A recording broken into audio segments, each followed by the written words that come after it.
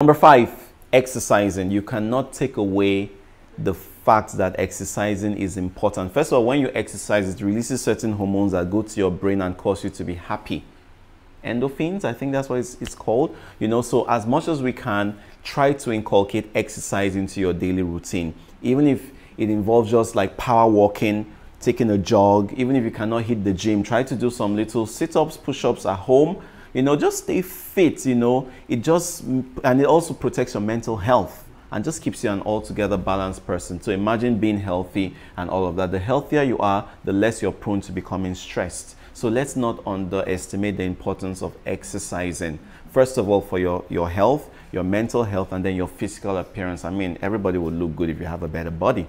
And by that, I'm not saying you need to be slim. You could be a perfect size of what your normal, natural size should be, if you get what I mean. So exercise daily.